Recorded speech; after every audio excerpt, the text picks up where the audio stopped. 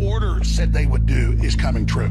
They're going to carry out the forced depopulation of 90% of us, and their time frame is 2030, and they have their surrogates all over the news telling us that it's the end of the world as we know it, and that it's our fault that all the systems are breaking down, while they deliberately go down the line, turning the civilization infrastructure off in front of us. And everything else flows downstream from that.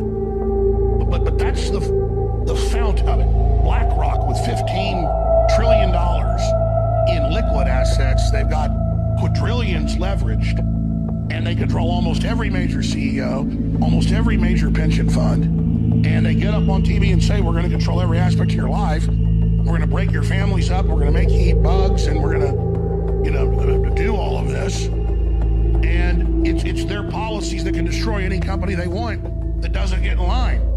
I know they staged those terror attacks. You know what it's like to gut up to this and go out every day and go past the peer pressure and come out day one and say 9-11 was an inside job and lose most of the radio stations I was on. You know what it's like to go to sleep every night knowing you work for a bunch of psychotic killers and you bastards are probably going to end up killing me one day. You know what it's like knowing you've ruined my life. You know what it's like, you sons of bitches. I'm tired of your crap.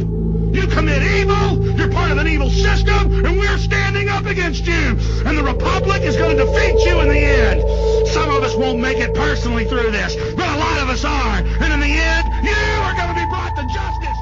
You want to fight? Better believe you've got one. You want to enslave my spirit? No!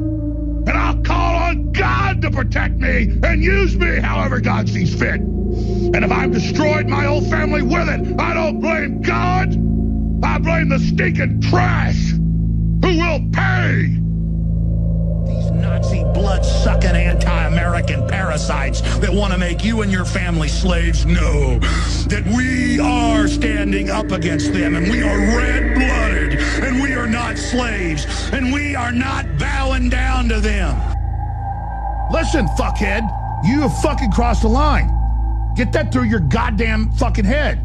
Stop pushing your shit. You're the people that have fucked this country over and gang raped the shit out of it. So stop shooting your mouth off claiming I'm the enemy. You got that, you goddamn son of a bitch? I'll eat your ass. I'll do it. I will eat your ass.